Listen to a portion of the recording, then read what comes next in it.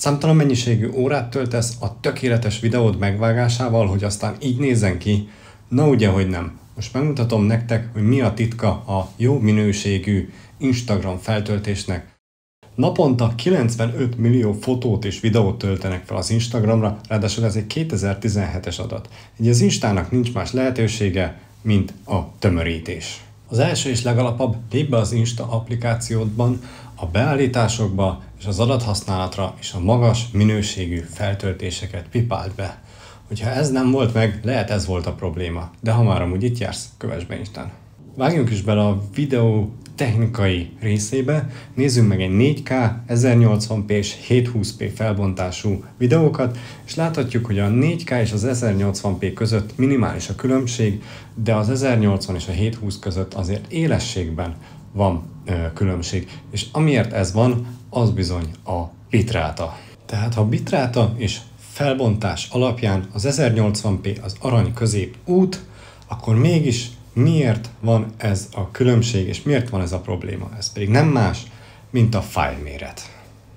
Gyorsan kapjuk is elő Premiere Pro-t, válasszuk ki a H264 kodeket, majd görgessünk le, ahol meglátjuk a bitrátákat.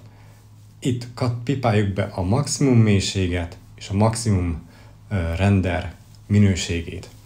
És itt jön a kérdés, hogy most mit válasz? Ha most ilyen 50-re felnyomod, több száz megabájtos is lehet, ami az Instának biztos, hogy nem fog tetszeni, de ha meg nagyon-nagyon lehúzod, hát akkor meg aztán tudjuk, hogy mi fog kijönni belőle.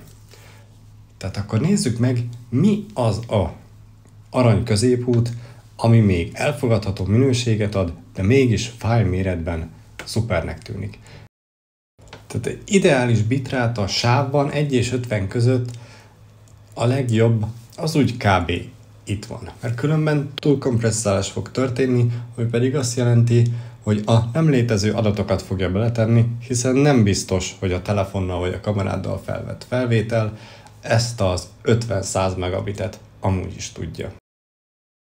És itt van még egy plusz tip, hogyha úgy érzed, hogy ebben a sávban ilyen 5-10 megabit körül nem a legtökéletesebben néz ki a te felvételed, akkor akár érdemes lehet egy Unsharp maszkot ráhúzni, ami egy picit az érességen segít, így akár a nagyobb méretű telefonokon is jobban nézhet ki. Mindenképpen próbáld ki, de ez nagyban attól is fog függni, hogy mennyi világos és sötét rész van a felvételeiden, és ezeknek az elhatárolása.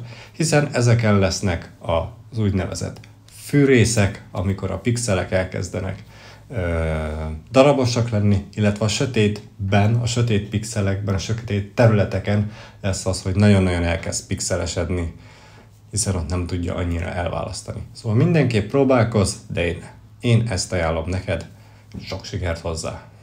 Ha tetszett ez a videó, akkor iratkozz fel, találkozunk a következőben. Sziasztok!